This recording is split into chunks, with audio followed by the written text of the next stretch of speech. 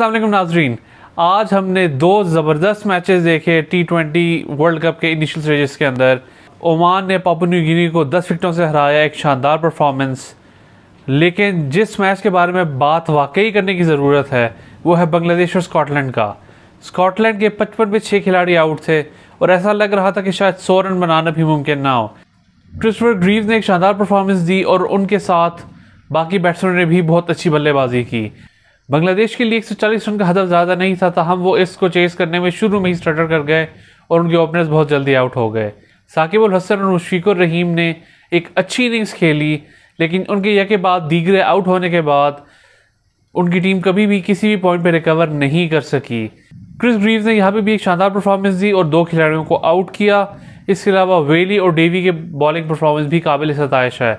आखिरी ओवर में 24 रन दरकार थे।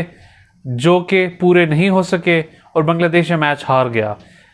इंटरेस्टिंग बात यह है कि आज ही ये बात हो रही थी कि Bangladesh has come of age they'll slay the giants लेकिन स्कॉटलैंड की टीम जो कि रस्टी नज़र आई, आज वो उनके सामने भी वो परफॉर्मेंस नहीं दे सके जिनकी उनसे तो की जा रही है। आज के मैच में पैनिक ऑब्वियस थी। स्कॉटलैंड के बैट्समैन उमूमन पेयर्स में आउट हुए।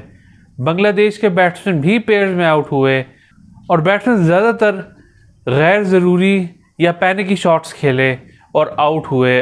Overall it was a great match lots of fun और अगर इसी तरह वर्ल्ड कप हुआ और फुल ऑफ़ सरप्राइजेज हुआ तो I am sure we'll all enjoy it a lot and we'll see you tomorrow